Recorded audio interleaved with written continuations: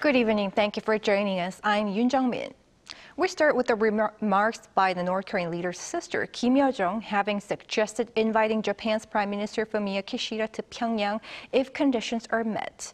Much speculation has been made about what could be behind this reckoning, and tonight we hear from Seoul's Unification Minister Kim Yung-ho himself about this. Our North Korean affairs correspondent Kim Jung-sil had a chance to sit down with him.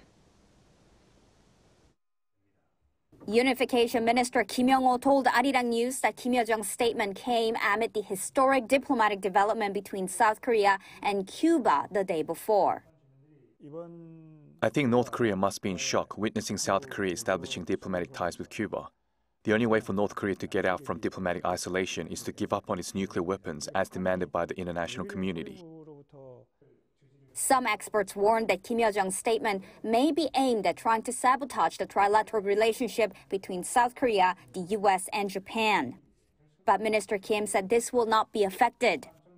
The trilateral cooperation system between South Korea, the US, and Japan has never been more concrete since the Camp David summit last August. North Korea will never be able to get to Washington and Tokyo without going through Seoul.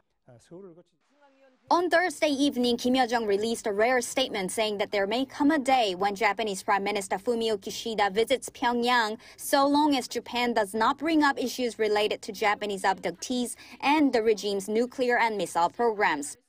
The statement came as Prime Minister Kishida said last week, now is the time to make bold moves and change the current situation, referring to relations with North Korea.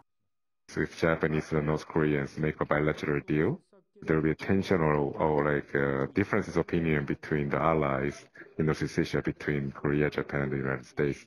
And this is exactly something that uh, the North Koreans are trying to achieve here, essentially to drive a wedge between Korea and Japan.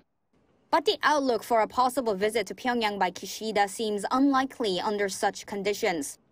On Friday, Japan's Chief Cabinet Secretary Yoshimasa Hayashi said Japan could not accept Kim Yo-jong's conditions. The Japanese government acknowledges 17 citizens having been abducted by North Korea between the late 70s and early 80s. Kim Jung-sil, Arirang News.